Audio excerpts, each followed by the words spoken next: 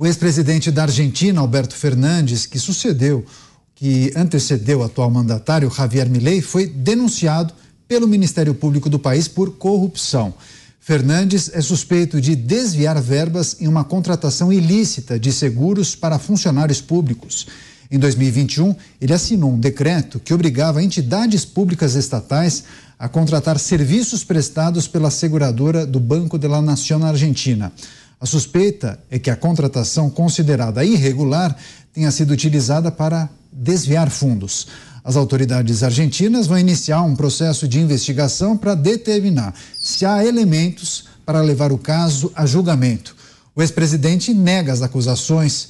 Eu vou trazer para essa reflexão, esse início de giro, Alberto Fernandes na mira do Ministério Público, possivelmente da Justiça da Argentina, em relação a esse episódio. Claro que é preciso aguardar o avanço das investigações, o rito legal ali naquele país.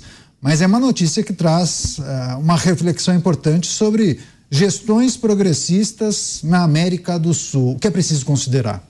Daniel, parece que nada é de graça, né? A Argentina, e nós falávamos há pouco, enfrenta o ápice de uma crise que já dura bastante tempo e com este pacote de crise econômica e social vêm as denúncias de corrupção.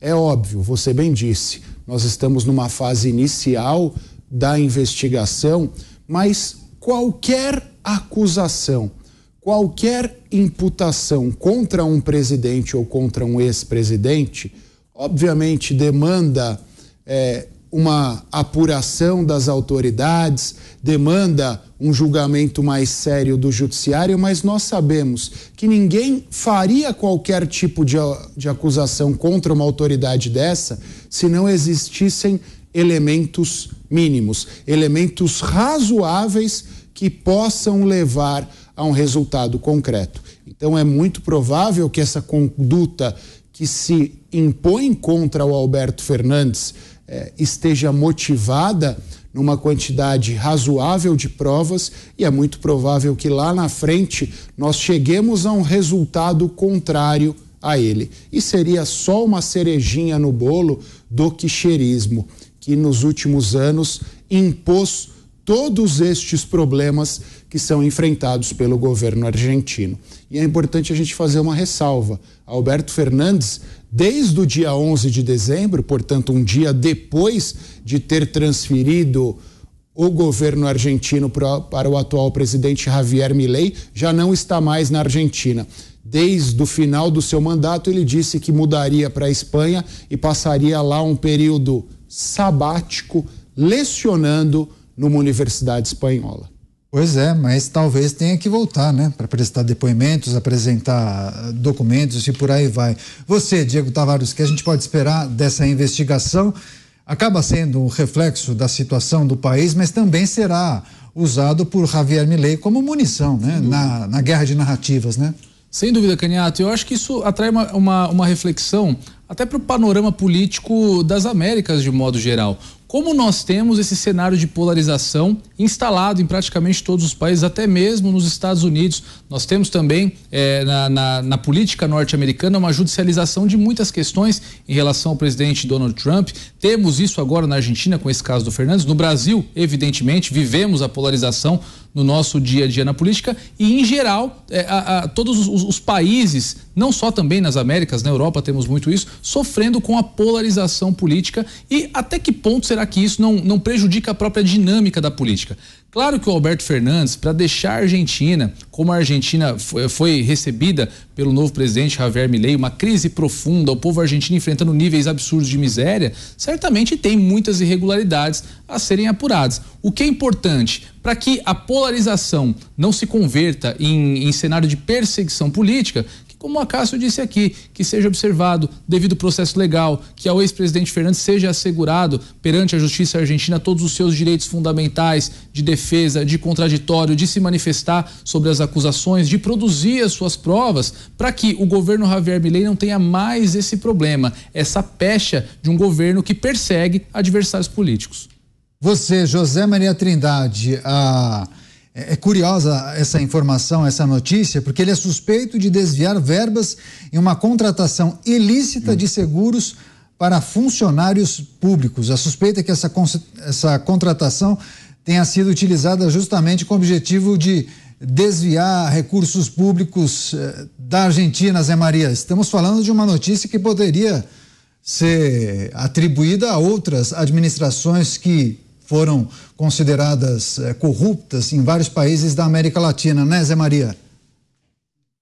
Quem nos livrará desta sina dos presidentes aqui do continente sul saem da, do palácio e podem enfrentar dificuldades na justiça, né? E, e, e, é sempre assim, é sempre o caminho. Eu acompanhei aqui a CPI, a CPI da, da, que analisou os fundos de pensão. É, é, é vergonhoso pegar o fundo de pensão, dinheiro de fundo de pensão, dinheiro de velhinhos, dinheiro de aposentados, ali é, pagos há, anos e anos, e investir em moedas podres, em títulos podres, para dar prejuízo para os fundos de pensão.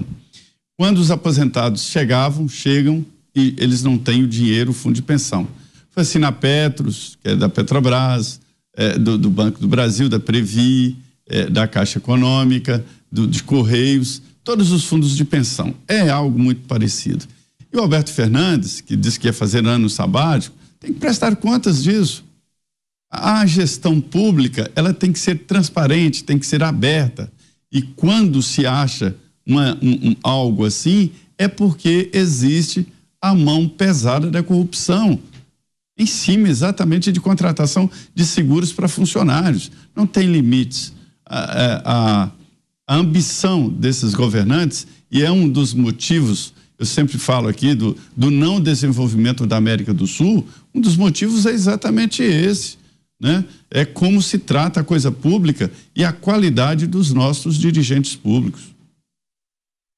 É isso. Esse, essa é uma informação importante. A gente tem que trazer para análise dos nossos comentaristas uma situação que a Argentina vem enfrentando há décadas, né? A gente não está falando de uma, um problema na economia do país de três anos para cá, em função da pandemia, algo pontual. Não.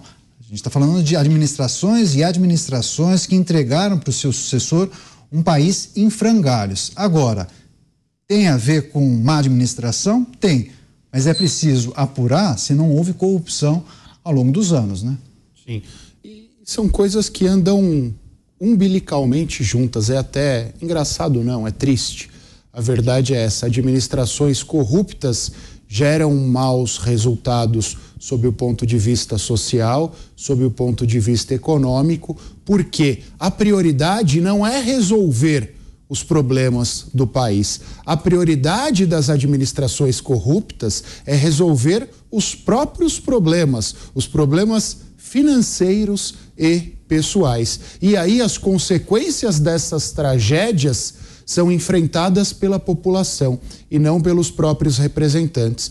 E aí nós acabamos acompanhando e você bem disse, Daniel, você fez questão de frisar nas três perguntas, nós acompanha, acabamos acompanhando situações iguais às enfrentadas na Venezuela, no Brasil, na Argentina, em inúmeros Bolívia. outros na Bolívia, em inúmeros outros países da América do Sul e no mundo todo. Verdade seja dita, essa não é infelizmente uma exclusividade nossa. Mas é possível considerar que há um percentual maior de situações parecidas em administrações progressistas ou não?